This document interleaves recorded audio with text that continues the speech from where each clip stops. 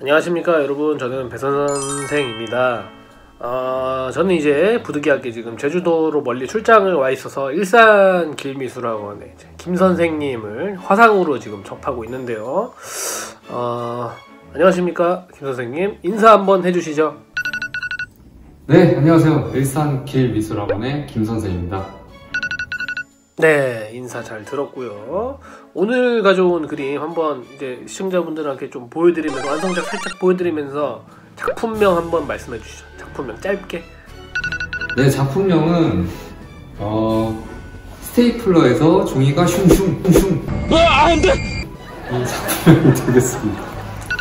아, 그렇군요. 작품명이 아주 어, 재미있네요. 재밌고. 이 뭔 개!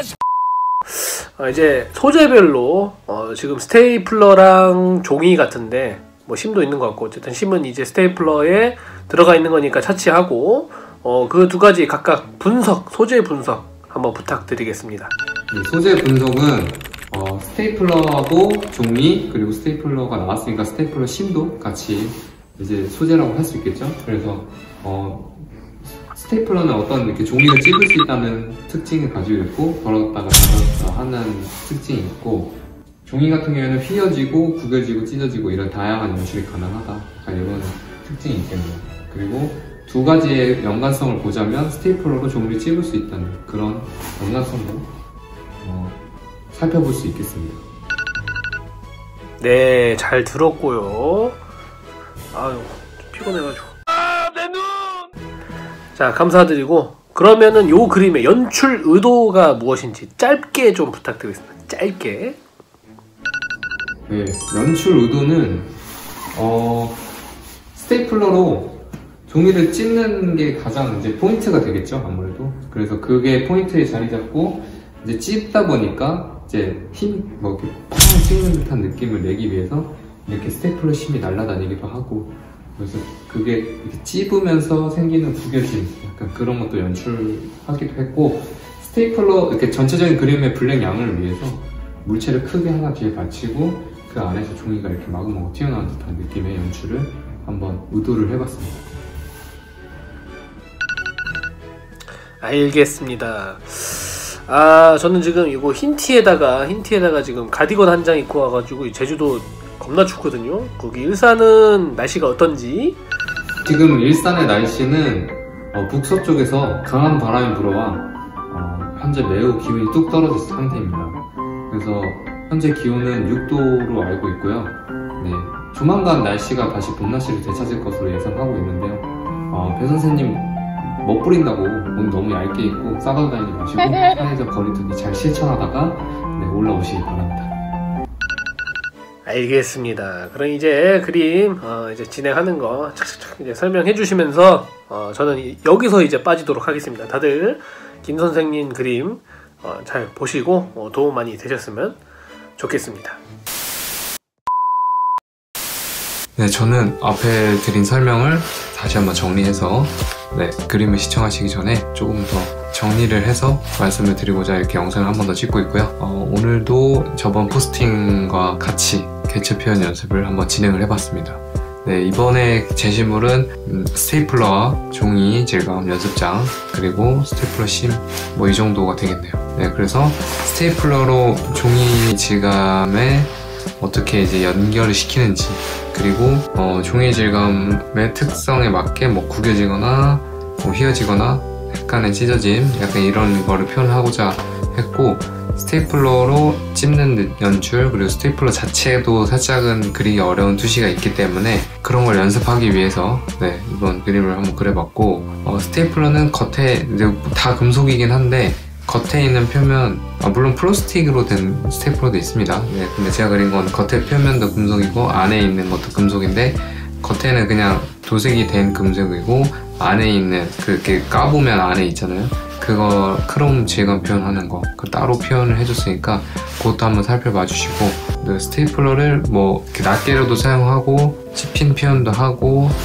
뭐 뭉터기로 된 거 그것도 빠진 바깥으로 빼서 그려준 거 그런 거 그리고 종이 질감 뭐 구겨지거나 휘어지거나 해서 그걸로 이제 공간을 구성해서 뒤쪽으로 빠지는 건 어떻게 했는지 그런 거를 주로 살펴보시면서 감상하시면 될 것 같습니다. 네, 그러면 어, 설명은 또 이어서 계속 그림 보시면서 하도록 하고 전 이만 넘어가도록 하겠습니다. 네, 이제 이렇게 채색 파트로 넘어가서 계속 영상을 보시면서 설명 이어가도록 하겠습니다.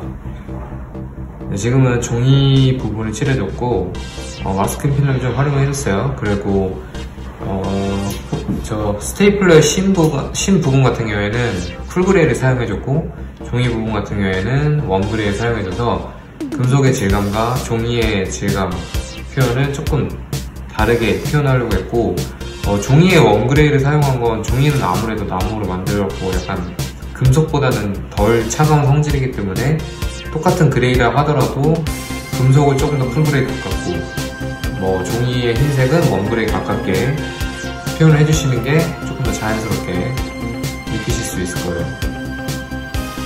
그리고 지금은 스테이플러에 맞게로 종이에 박혀 있는 부분도 채색을 해주고 네, 저 부분은 이제 스테이플러의 밝은 면 쪽. 네. 저 색이 굉장히 애매한 색인데 greenish yellow에 gray를 섞어서 사용했습니다. 그리고 지금은 안쪽에 있는 크롬 질감 비슷한 그런 반짝이는 금속에 채색을 해줬고 저 이제 머리 부분의 저 부분은 되게 세피아에 gray를 좀 섞으면 저렇게 밝은 색을 좀 표현할 수가 있어요. 어두운 아, 어두운 색 안에서의 밝은 색. 그리고 옆면은 그냥 세피아, 어두운 면에는 완전 블랙을 써서 단계를 밝고 중간 어둠을 나눌 수 있겠죠. 어두운 물체라 하더라도 어두운 부분이라 하더라도 밝고 중간 어둠은 나눠주셔야 합니다. 저 부분은 스테이플러의 고무 밑바닥 부분인데 아래를 보고 있기 때문에 그냥 블랙으로 다 무난하게 눌러주었습니다. 전체적으로 어둠의 양을 맞춰줘야 되기도 하고 원래 블랙 색상인데다가 아래면을 보고 있기 때문에 저 부분은 새까맣게 블랙을 눌러야겠죠.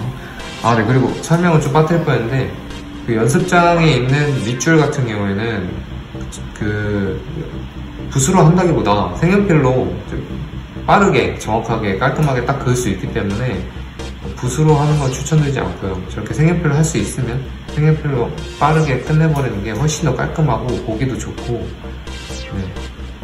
시간도 덜 안 들고 이점이 훨씬 많습니다.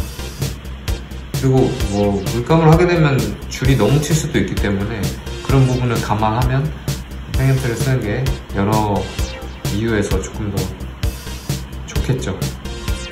그리고 지금은 이제 포스터 컬러 화이트를 찍는데 너무 많이 과하게 찍는 거를 저는 되게 반대해요. 너무 과하게 찍어주면 오히려 안 찍으니만 못한 인위적인 느낌이 많이 되기 때문에 적당히 찍어주면서 정리도 좀 해주고 묘사를 좀 해주도록 그렇게 찍어주는 게 좋을 것 같고요. 어, 완성이 됐는데 주제부 파트 위주의 구성이고 기본적인 질감 표현 연습을 위해서 이제 그림을 그린 거기 때문에 이게 뭐 한 장이 전체가 다 그리게 되면 조금은 구성이 좀 달라질 수도 있겠죠. 근데 일단 이거는 어 주제부 구성이고 어 스테이플러와 종이 질감을 연습한다 라는 취지에서 그림을 그린 거를 감안하고 시청해 주셨으면 좋겠고 어 여기서 포인트는 어 같은 gray에서의 색깔을 나눌 때 이제 조금 더 따뜻한 물체는 warm gray 사용해주고 차가운 물체는 cool gray 사용해준다는 것 그리고 어두운 색을 칠할 때 어두운 색 안에서의 밝고 중간 어둠을 만드는 방법. 네, 그리고 어, 종이 질감을 조금 표현하는 그 안에 들어가 있는 무늬를 표현하는 팁 같은 거? 그런 거를 좀 쟁점으로 그림을 봐주셨으면 좋겠네요. 네, 그럼 완성작을 계속 감상하시면서 저는 이만 물러가도록 하겠습니다. 많은 도움이 되셨으면 좋겠고 어, 구독하고 좋아요 꼭 부탁드립니다. 김선생이었습니다.